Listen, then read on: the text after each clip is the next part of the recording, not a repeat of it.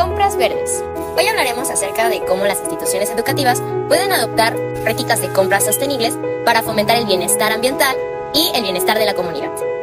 Una de las prácticas que pueden adoptar las instituciones educativas es comprar productos orgánicos y locales cada vez que sea posible. Esto no solo ayuda a que la dieta de los estudiantes y personal sea más saludable, sino que también minimiza la huella de carbono al minimizar la distancia entre el productor y el consumidor. Otra práctica verde es utilizar materiales reciclados renovables en la compra de suministros y equipos, por ejemplo, papel reciclado, muebles con materiales renovables, etc.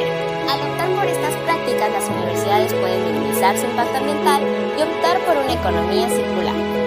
Por último, las universidades pueden implementar programas de desperdicio cero, donde se fomente la reutilización, reducción y reciclaje de materiales en todo el campus.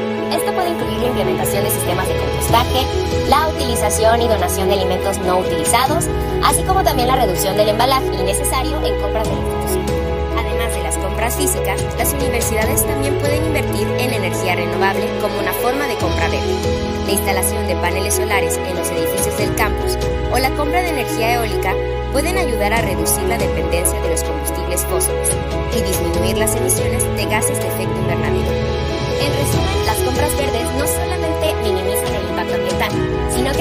promueven la salud y el bienestar de toda la comunidad universitaria. Al adoptar prácticas sostenibles, las instituciones educativas pueden liderar un camino